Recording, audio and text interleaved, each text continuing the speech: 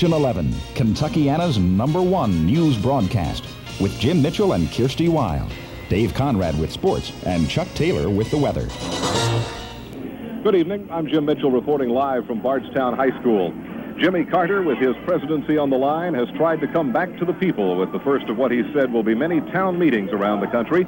He answered questions on energy, on salt, on our relations with our allies and with our adversaries around the world. He took tough questions from many people and sympathetic questions from others. If the president has had enough of the cynical Washington establishment and the skeptical Washington press corps, he must be feeling much more cheerful tonight because what he received along the streets of Bardstown today was an enthusiastic welcome from cheering people who lined the streets, others who waited outside in 90 degree, 90% humidity weather in order at least to get a glimpse of him. About 2,100 people were able to see him inside. But if the president expected the questions in this community to be a pushover, well, he was wrong there because they were tough.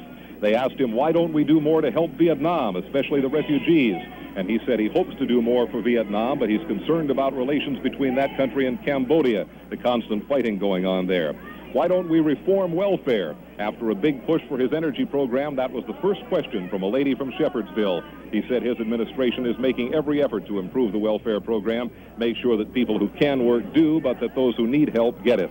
Why don't we do more for our allies? Why didn't we keep the Panama Canal? He said he felt we made the right move in Panama and giving the canal to Panama for joint trusteeship with the United States until the year 2000 was the wise move. Of course, even the President of the United States had some technical difficulties in this well-orchestrated event, so when a microphone didn't work today, he just invited a young fellow up to use the presidential mic.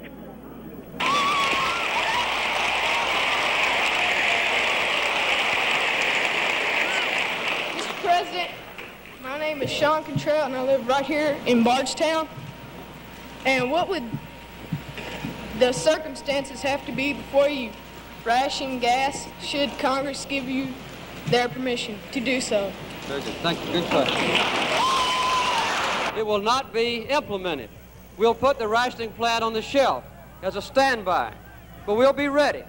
And if we do have a severe and sustained loss of gasoline, then it will be put into effect.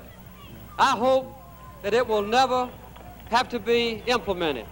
And if I do a good job as president, and if we get a good energy program to the Congress that I've described to you in my opening remarks, then we won't have to have gasoline rationing. My name. So that was one question from one young gentleman who wanted to know what exactly would it take to ration gasoline. Other questions touched on everything from will the Russians catch us in nuclear weaponry if we go ahead and sign the SALT II treaty to what about telephone service in Bullitt County? And although the President of the United States might ordinarily not be concerned about phone service in part of Bullitt County, he promised that when he goes back to the White House tomorrow, he will pick up his telephone, call the chairman of the Public Service Commission in the state of Kentucky, and try to get something done. He said he couldn't guarantee that would happen, but he is going to make an effort. The president received, as we said, a tumultuous welcome in Bardstown today as he took a motorcade from the airport, and Bud Harbsmeyer was on 3rd Street in downtown Bardstown for the motorcade. The president has picked his Kentucky town meeting spot well. Bardstown is Carter country, and they responded well today by giving him a warm and a very friendly welcome. For over a block, he crossed and recrossed the street. Every face and sign along the parade route was friendly. Any enemies the president made by canceling out of his Bardstown trip three weeks ago were dispelled by this trip today. The Chamber of Commerce, for example, sold out of the 2,000 Carter buttons they were selling for a dollar apiece. And $5 T-shirts with Carter's picture on them were selling well, too. But that's not the surprising thing here because Carter is popular in Nelson County. Nelson County is heavily Democratic, and three years ago gave Carter 65% of the votes cast for president.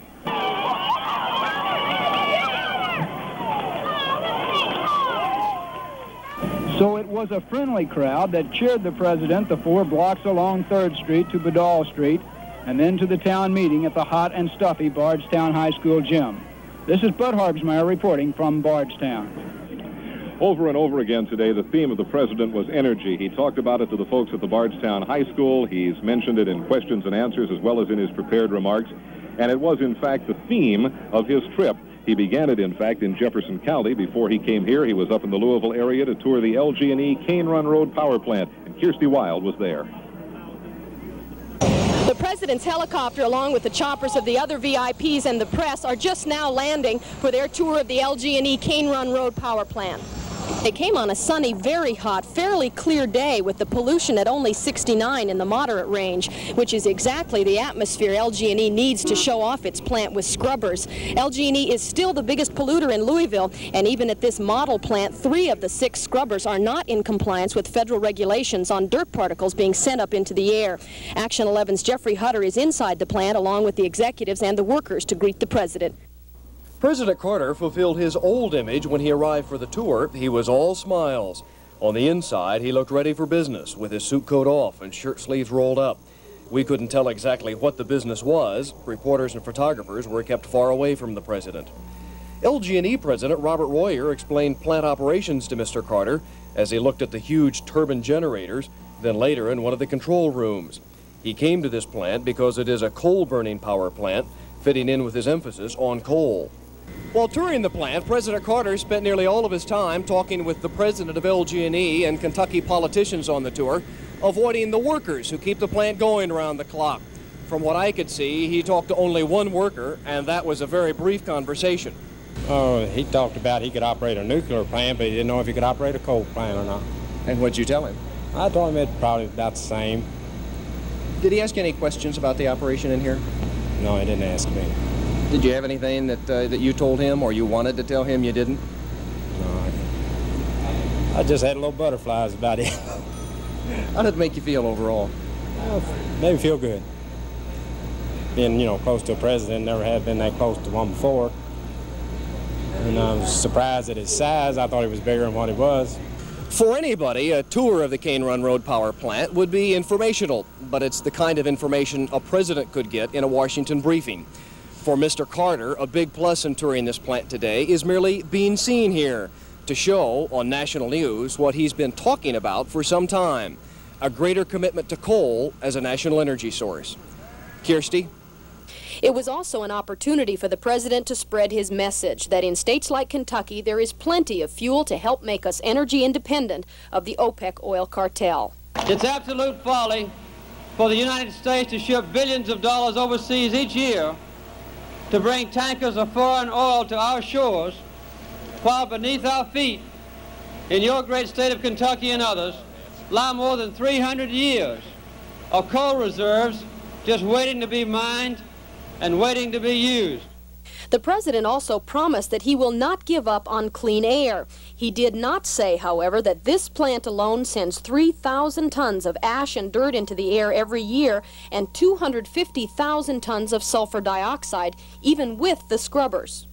I will not permit America to be forced to choose between breathing foul air and having our waters filthy on the one hand, or mortgaging our future to the OPEC oil cartel.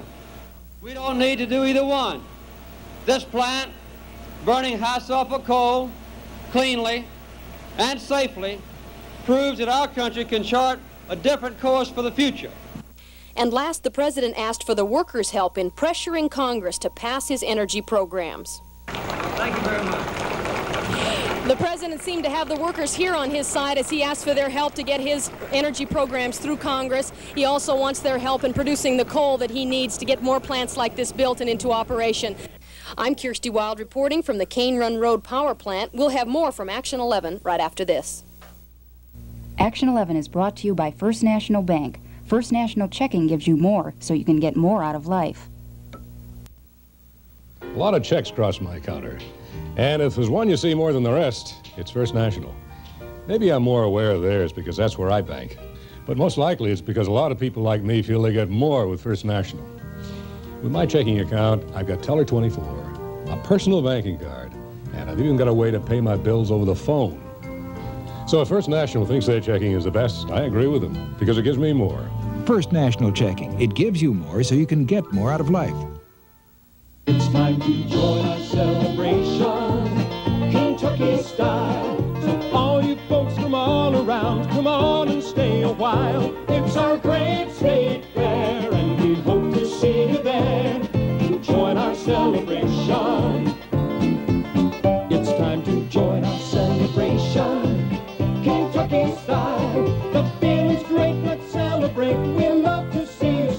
Fair isn't far from wherever you are. About 1,400 foundry workers at International Harvester are continuing their wildcat strike tonight. The workers left their jobs yesterday in protest of the firings of three workers last week accused of sabotage. They're members of UAW Local 817, and this evening both the company and the union are holding their ground. At the present time, I would say we have less than uh, 100 people in the plant, in the foundry working. So 90, 95% of the 1,100 workers are out here? I would say 95% of the people out. How long are you going to stay out? As long as it takes. Company officials have had no comment other than to say that this strike is illegal. Jefferson County's elementary students have something to be proud of tonight. They scored higher than the national average on their achievement tests. And Chuck Olmstead is here now to tell us more. Kirsty, this past year, youngsters in the third and fifth grades took standardized achievement tests, and they wound up scoring higher than both the national and state averages. A good 5% better than the national average in basic skills like reading, spelling, and math, and about 10% higher than other school systems right here in the state. And school officials say that's proof that the elementary school program is strong and getting better. I think that the basic curriculum that the students are now in is a very sound developmental curriculum, and I think the achievement scores that you see shows that a large percentage of the child, children have achieved, you know, as compared to the state and the nation. Now, the kids in the middle and high schools, well, they didn't do quite as well. In fact, the 7th and 10th graders, who also had to take the tests, scored only about the same as the state and national average. So, Kirsty, I guess school officials will be making the big push in the higher grades to boost up those scores in the coming year. Okay, thank you, Chuck. It's clear tonight that the school board and the Teachers Association will not be able to meet their self-imposed deadline of today to come up with a new contract. They met all day today, and the issues left to decide are basically money issues. Negotiators wouldn't set a new deadline. All they would say is that they're somewhere between the 6% money figure the board is offering and the 14% the teachers are demanding. President Carter has declared 10 Indiana counties a disaster area, making them eligible for federal relief funds. Four straight days of rain swelled rivers and creeks, causing flash floods in many communities, including the hard-hit communities of English and Marengo. In four counties, individuals will be able to apply for federal assistance. In six, local governments will get federal help to repair sewers, roads, and bridges. Assistance centers will be open in just a few days. There are new questions tonight about the strength of concrete used in safety areas at the Marble Hill Nuclear Power Plant. The Nuclear Regulatory Commission told Action 11 that several new areas of questionable strength have been found with a testing device that uses sound waves. The seriousness of the new findings will not be known until core samples can be taken. The ultrasonic testing was begun after a visual inspection by the NRC turned up 520 air pockets in the concrete. When Action 11 continues, Chuck Taylor will have the weather. Hatfield Jewelers has what people want, like a one carat diamond cluster sale for only $799. Where else but Hatfield? When Lincoln Mercury has a sale, you know it means a great deal. Announcing your Lincoln Mercury dealer's Super Saver Sale. Special factory incentives of up to $600 on Mercury Marquis and Cougar XR7 and up to $750 on Continental Mark V, Lincoln Continental, and Lincoln Versailles. On top of your dealer's already sensational clearance prices, enable him to offer you values you wouldn't believe until now. See your Lincoln Mercury dealer and catch the cat's Super Saver Sale. When you feel like celebrating. What you buying, George? When you feel like having fun. Lunch? When you're feeling really hungry after all the work is done. Take me to the biggest burger you can find. Then you feel like a burger chef. Take it easy. Can I help you? When you feel like the burger with the bacon, or a do-it-yourself salad, or your own special touch at our Works Bar. When you feel like more than a burger on a bun. You guys all have enough to eat? We're the only place that lets you feel like a burger chef. Do you feel full? I feel full. Along with all the rest of us, Kentuckiana tobacco farmers are still suffering from the hot, humid weather. They need some dry weather, several days without rain to save their crops. One official in Jennings County, Indiana, says that 40% of the crop there has been damaged by waterlogged soil. Similar estimates come from other parts of Kentuckiana. So the question for Chuck Taylor is, will they get the dry weather? Okay, it looks like uh, we are going to see a cold front move through, and of course the president was very lucky because uh, he missed out on all those showers and thunder showers around the region. That cold front is just west of here. There are some showers and thunder showers showing up on the action track color radar. It looks like the president once again is going to be lucky. He's uh, going to get out of here before those showers and thunder showers arrive. But as that cold front moves through later on tonight, we are going to get showers and thunder showers here. Then that drier air is going to be moving in as high pressure from the west builds in our direction. And we are definitely going to get a nice day tomorrow. Lots of sunshine lower humidity, and it will be cooler. Looking right now at the action track color radar, you can see quite a few showers and thunder showers around the region. Those showers and thunder showers around Owensboro and Evansville will be arriving here later on tonight. We have cloudy skies right now, and our temperature is still on the warm side, 82, our humidity 79%. The wind right now out of the southwest, but it will be shifting to the northwest as the front moves through. Our wind speed 15 miles an hour, the barometer 29.96 and holding steady. A very warm day. The high was 89, our low temperature 74. No rainfall in the past 24 hours, but look at this. For the month of July, 10.05. Pollution, that's another problem tonight, 205 in the very unhealthful category. But as the uh, showers and thunder showers move in and the wind shifts around to northwest, the pollution will be dropping. Our solar index for yesterday, 71. 82 here, south of here at Bowling Green, 93, and our forecast for tonight calls for very warm weather with showers and thunder showers developing, an overnight low of 73. Tomorrow the showers will be ending. It will be turning cooler and less humid. A high tomorrow of only 83 degrees, below normal for this time of year. Fair tomorrow night, fair on Thursday, but as we head for the weekend, unfortunately, more showers and thunder showers are possible. Boy, that pollution just skyrocketed. Know, Earlier today it was 69, I believe. Yeah, but it will be dropping definitely. Okay, good. Thank you, Chuck. Coming up, more advice from the Weekend Gardener on saving storm-damaged trees and the sports report from Dave Conrad.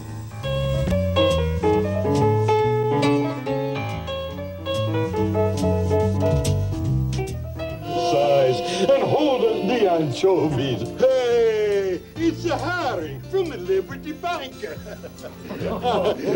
is the man that helped Luigi give you the best pizza in town. Banker?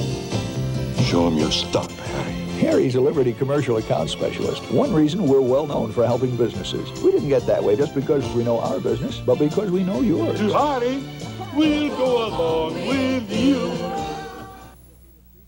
Every time you hit the road, you run the risk of hitting another car. And if you do, most insurance companies will raise your rates. But not J.C. Penney Insurance. Drive three straight years with us without an accident. Then if you have just one, we won't raise the rates on your policy. That's Pennywise protection. So come in or call, because the first time you hit another car, we won't hit you for more money. Pennywise protection. Insurance for the smart driver. Save hundreds of dollars now on a new Clap Oldsmobile. They're closer than you think, just five minutes from downtown Louisville. Clap Oldsmobile, Highway 131 in Clarksville. As Chuck said, as long as there is summer left, there's a chance for more storms and more damage to your trees. Tonight, Fred Wiche continues his special report on how to treat your trees. Trees damaged in summer windstorms can often be saved if you act promptly. And as I showed you yesterday, the proper way to cut back damaged limbs. But remember this, always cut your limbs all the way back, flush with the trunk of the tree. Never leave a stub sticking out like this. That stub will only decay and it'll invite insects and diseases later on. A limb was removed from this sugar maple tree several years ago. And look at the way the bark has sealed over because when I removed the limb, I cut it flush with the trunk. The wound healed itself. Now, what about this question about tree wound dressings? Should you apply them after you've removed the limb of the tree? Should you treat the wound? New information shows that that is no longer necessary. According to Jefferson County's extension agent for horticulture, Mark Timmons, he told me recently the material that we commonly use to treat tree wounds does not promote healing. But if it'll make you feel better, if you do want it, you can use orange shellac. Tomorrow, safety in repairing storm damaged trees. I'm Fred Wiche, the Weekend Gardener. Our reporter Mark Pfeiffer told me that he tried to go out and play tennis today and he lasted three minutes. Three minutes? I don't think it's any wonder that Mr. Moor last No, night no. couldn't hold on. Wasn't a tiebreaker in three minutes. no, he just said it was too hot. Well, it certainly was last night. Although no official decision has been made, it appears that the Louisville Tennis Classics of the future will undergo some changes. More than likely, the surface will not change. The tournament will still be played on clay, but the date will change, perhaps as early as the 1981 Classic. Move the tournament earlier in the year or later in the year to avoid the heat and humidity of the Ohio Valley. In the title match of the 10th Annual Classic last night, there was not one among the thousands who witnessed the excitement who did not feel the pain and the agony experienced by Terry Moor, which ended the match prematurely. His severe leg cramps, which resulted in John Alexander being proclaimed the champion. Both warriors were worn out at the end, and the way it ended certainly surprised no one. Certainly did not surprise John No, Alexander. it's not surprising. It was very humid tonight, and uh, we both got very tired after the first set. Um, so you know, it's always a possibility. You know, um, I'm not the type of person that gets cramps. I slow down before I get the cramps. I uh, started getting cramps at the beginning of the third set. I felt them coming on, and uh, you know, they just it was just inevitable, I guess. You know, I felt it and kept getting worse, and just you know couldn't get it out. So you just knew you wouldn't be able to finish. Well, I you know it just kept getting worse, and, and toward the end of the. Uh, How about the applause the, the fans gave you tonight? It was great. yeah, I love it. Yeah, it's great. It's great to be uh, back. You know, and I wanted to come out, but you know, I just I just couldn't. It kept getting worse every time I you know, swung or something. So that's the way it goes, I guess. Some win some, lose some. It indeed was a fabulous finale, and the thousands who witnessed it were most appreciative.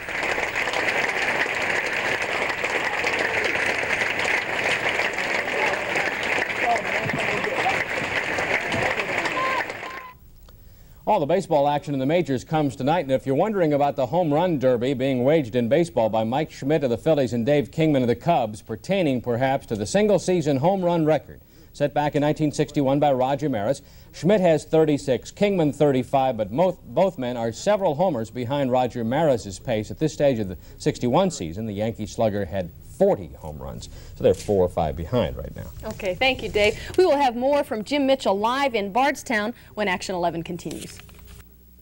A nuclear nightmare. The man who downed a Shah. Man's distant past. The Navy's future. War. Peace. Taxes. Pot. Inflation. The realm of Hollywood. The kingdom of oil. Ballet's top princess. There isn't a subject under the sun or an issue on your mind that you won't find covered in the pages of Time. For Time is a news magazine that does the homework for your headwork. The stories behind the news that's happening to you.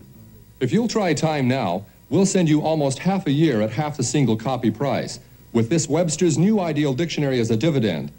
The dictionary brings you the world of words, and Time brings you a world of news every week. From Time's candid cover stories to its movie, theater, and book reviews, you cover it all. Science, medicine, religion, business, art, politics, showbiz, towering issues, the hard to pin down, the hard to get at. You get it in the lively writing and colorful pages of just one magazine. Information you won't find anywhere else. Time. It's the news magazine that invented the news magazine. And for more than half a century, it's been the magazine for people who care about knowing. You'll enjoy reading Time too, every page and every minute of it, for it will keep you in, tune you up, nail things down, and take you everywhere. Time's cover price is $1.25, but you can subscribe now at our basic rate of about 59 cents an issue. That's 25 issues for $14.97, and we pay the postage. Just phone this toll-free number to order Time and to get your 672-page Webster's Dictionary as a dividend. Time is about 59 cents an issue, our basic rate, while the dictionary comes free with your paid subscription. Our operators are standing by. Phone toll-free, 800-621-8200. That's 800-621-8200. Remember, time is half the cover price. The phone call and the dictionary are free. It's been a long day for all the White House press corps, all the local reporters, and of course President Carter. His plane is on the runway at Standiford Field at this moment, ready to take off as soon as the helicopter arrives from Bardstown carrying the president. Now let's go back to Jim Mitchell live in Bardstown for reaction to President Carter's town meeting. Kirsty, the president left just a few minutes ago, so that helicopter will be a few moments getting up to Standiford. I wanted you to meet uh, Gladys Razor. Gladys came all the way up from Bath County. What is that, about 60, 70 miles Oh, to see the president? about president? 135. Round trip, huh? No. Oh, the whole way. No, okay. way. Now, you were waiting out here to see the uh, president. You got to see him walk by. Oh, yes. And Gladys gave me a little trouble because we had to rope off an area here so we could do our telecast, and she was afraid she couldn't see the president. What happened when he came out? Oh, when he came out, well, I was going to shake hands with him, so I had to cut the rope. was that necessary? Oh, no, that wasn't necessary, and I did. I enjoyed it very much. That's fine. I think he's a wonderful man. If we, the people of the United States, would only stand behind him. What uh, What did you think of what he had to say uh, that you were listening to on loudspeakers We out here? did. I think that the uh, program that he has is good, and I think that the people of the United States would stand behind our good president, that we had to have a good country in which to live. Well, that's what he was asking for, and that seemed to be the consensus around here. Is that what the rest of you folks seem to feel about uh, President Carter's speech? Most folks seem to be pretty much uh, pretty much behind him. Let's uh, come over here just a little bit. I remember talking to you. Oh, you yeah. waited here all that time. What was your name? Janet Warner Where are you from, Janet? from here at Bardstown. How did you like what you saw and heard today? Well, I really enjoy being here, and it's just exciting to see the president come to, you know, such a small town as Bardstown. I think we're all honored to have him here. If he goes to other town meetings around the country, are you going to feel slighted, or will this still be a pretty big day for your city? This is the biggest day for us, I think. How old are you? Can I ask you? 22. 22. So, did uh, from your age point of view, do you think what he said made sense today? Yes, I do. Support his energy program pretty much? Yes, I do. Well, thank you very much for talking to us. Thank you to all of you for standing around here and being patient and letting us crowd you out of the way. We hope you all got a chance to shake hands with the president. Uh, it has been quite an eventful day. I think the two ladies you just heard summed up the feelings pretty well. The people in Bardstown were truly honored. They didn't ask the president any easy questions. They had tough questions for him, but they listened to his answers, and they were pleased that he took the time to come all the way here from Washington and to give them to them. That's it from Bardstown for now. Uh, of course, we'll have later reports on what happened here at 11 o'clock. And Kirsty, back to you. Jim, I have one question if you Yes, can hear me. Okay. How hot is it out there? Uh, it is really hot. It is so hot. and high humidity, too, but uh, we had a pleasant time anyway. You have stood up well in that jacket, I must say. Thanks for being with us. CBS News is next. We'll be back at 11 o'clock with all the day's news. Good night.